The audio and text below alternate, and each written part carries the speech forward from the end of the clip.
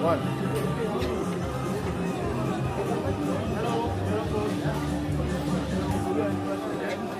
Is my two months old cousin, you know? Uh, no, uh, yes.